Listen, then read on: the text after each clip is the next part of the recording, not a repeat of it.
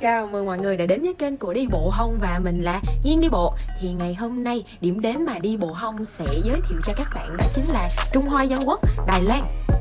Và Đài Loan là một trong những nước Đông Bắc Á có một kinh phí phù hợp khi chỉ ngang bằng với chi phí du lịch ở miền Bắc Việt Nam từ 13 triệu 990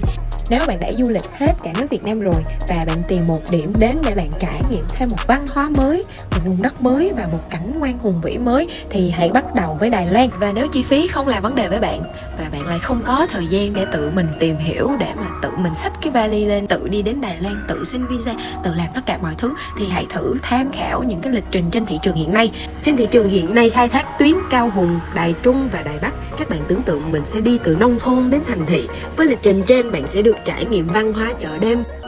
ẩm thực Đài Loan cũng như là các spot đẹp, phố cổ thập phần, trải nghiệm thả đèn trời và đi Đài Loan, thủ tục visa có khó không? Câu trả lời là bình thường nha Bạn chỉ cần đi đúng cái mục đích của mình là du lịch chứ không phải là qua bển rồi ở đó luôn Thì tôi sẽ giúp bạn cung cấp thông tin chi tiết về thủ tục visa Đài Loan cần gì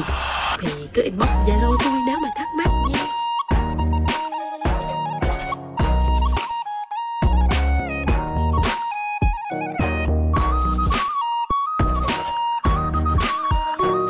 nếu chưa có một đơn vị nào uy tín thì hãy thử tham khảo Lữ Việt nha.